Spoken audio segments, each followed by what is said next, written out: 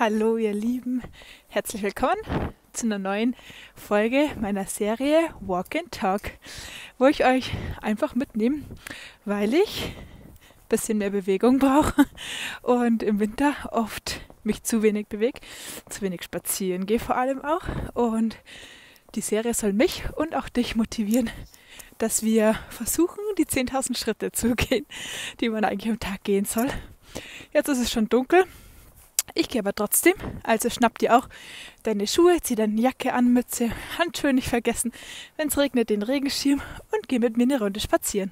Okay, ich versuche jetzt mal so lang wie es geht äh, mit der Frontkamera zu filmen, aber es ist so dunkel, äh, dass ich dann den Weg nicht sehe, vor allem wenn keine äh, Laterne dann da ist. Schauen wir mal, wie lange es braucht, bis es mich auf die Goschen haut.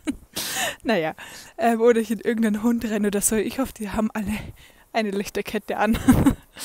ähm, ich habe heute meine Regenjacke an, weil ich damit ein bisschen heller bin ähm, und nicht so leicht übersehen werde.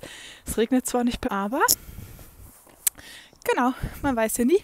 Und es ist eben, wie gesagt, deutlich heller damit.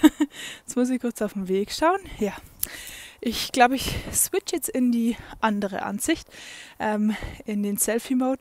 Da sehe ich den Weg ein bisschen besser. Äh, leider seht ihr mich dafür dann nicht so gut. Aber wie gesagt, schnapp dir einfach deine Schuhe, geh mit mir spazieren eine Runde und ähm, hör einfach zu, was ich so für Gedanken mit dir teile.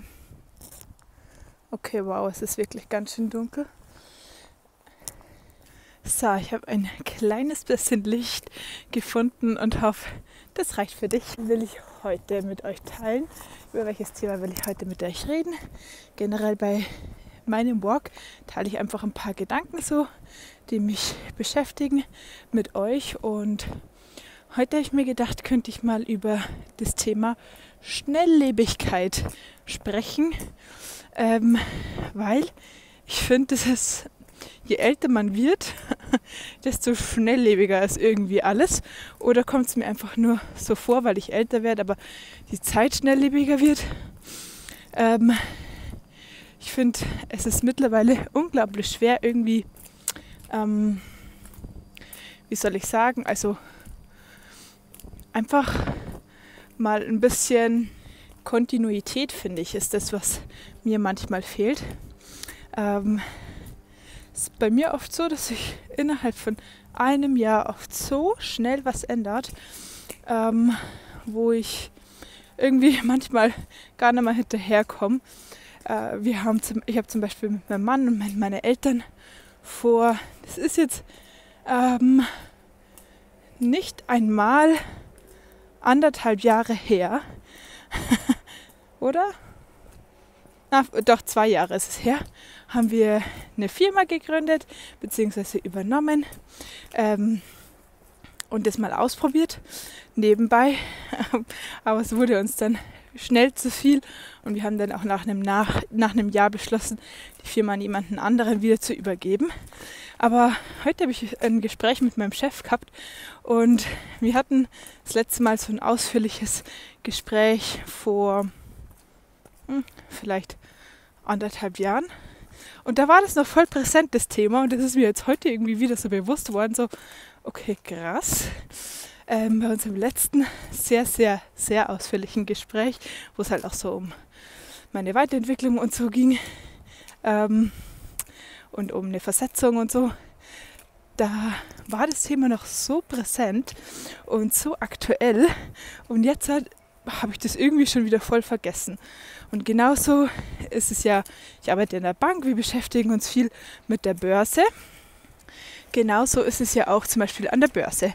Das ist mittlerweile so schnelllebig. Die letzte große Krise war ja 2008, die Finanzmarktkrise. Und dann war Corona, also die richtige nächste Krise. Dazwischen war zwar ein bisschen Euro-Krise und so, aber so die richtige. Und, und dann nicht mal zwei Jahre später, nach Corona, kommt jetzt gerade schon wieder die nächste oder wir stecken hier mitten in einer drin, die Energiekrise oder Inflationskrise oder wie auch immer man sie betiteln will. Ja, und ich finde, das ist schon Wahnsinn, wie schnell das geht. Das ist nichts, wo man Angst davor haben muss, aber ich finde, oder mein Gedanke dabei ist, man muss sich, glaube ich, privat mittlerweile einfach so gut auch aufstellen mit Routinen, mit Ablaufen, aber auch einfach Freundschaften verbindlich, Freundschaft leben, ähm, damit man da einfach ähm, etwas hat, was bleibt, was da ist, um zu bleiben. So habe ich mir gedacht, weil im Beruf verändert sich alles so schnell und das ist ja nicht nur bei mir so, egal wo ich hinschaue, in welche Branche passiert gerade viel Umbruch und viel Aufbruch. Ähm, aber nicht nur in der Arbeit, sondern eben auch zum Beispiel gesundheitlich passiert oft so viel, so schnell. Oder familiär. Bei uns sind zwei neue Familienmitglieder dazukommen, weil meine Geschwister ja geheiratet haben. Naja, also eben. Und Freundschaften kommen zwar auch und gehen, aber ich finde, da liegt schon viel an einem selbst, treue Freundin zu sein oder treuer Freund zu sein und auch treu zu sein in schweren Zeiten. Ähm, meine Mama und meine Schwester und ich, wir halten am Wochenende einen Vortrag über psychische Erkrankungen. Und meine Mama ist Therapeutin, meine Schwester hat Psychologie studiert und ich bin einfach nur so dabei. Äh, mein Part ist quasi über das Thema Freundschaft zu sprechen. Ähm, was es einfach auch ähm, heißt, in so gerade mental schweren Phasen treu zu sein. Gell? Ähm, das ist oft überhaupt nicht leicht. Das wünscht man zwar sich immer, dass man selbst dann auch treu ist und zu seinen Freunden steht, wenn es ihnen nicht gut geht. Aber ich finde es manchmal leichter gesagt als getan. Und ja, das finde ich ist aber mittlerweile schon auch was, wo man einfach viel, viel mehr Wert drauf legen muss, weil ich finde auch mit Freundschaften wird mittlerweile leider manchmal ein bisschen hm, flapsig umgegangen. Oder manchmal ist es ja selbst auch in einer Beziehung so. Es wird nicht mehr so viel an Freundschaften oder an Beziehungen, an Ehe gearbeitet, sondern sobald es nicht mehr so passt, dann bricht man halt den Kontakt auf, ab. Oder ja, es war nicht mehr das Wahre, es war nicht mehr wie früher. Ähm, und man arbeitet irgendwie gar nicht mehr an Freundschaften oder an Beziehungen. Und genau, ich finde das aber voll wichtig und will dich da ermutigen. Und ja, ich kann selber sagen, ich bin auch nicht immer eine super Freundin.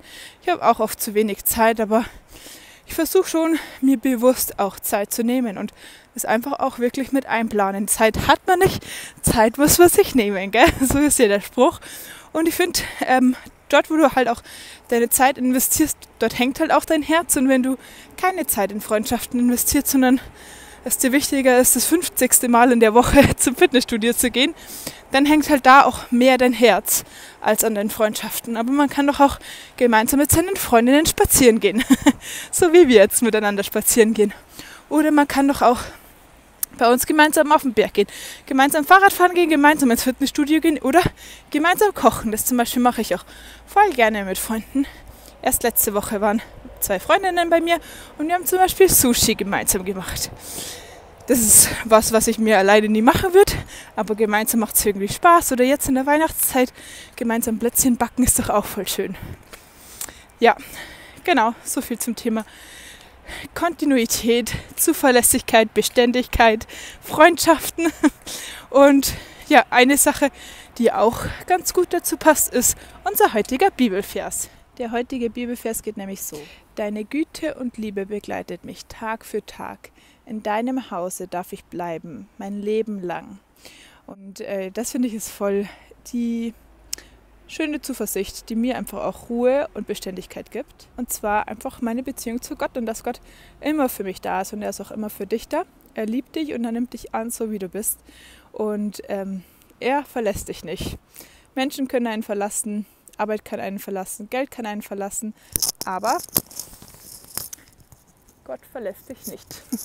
Und das finde ich ist voll wichtig zu wissen und voll schön, weil ehrlich gesagt ist ja in der Welt nicht, also auf nichts Verlass, Verlass, alles kann kommen und gehen, ob man es jetzt möchte oder nicht, aber Gott ist der, der bleibt.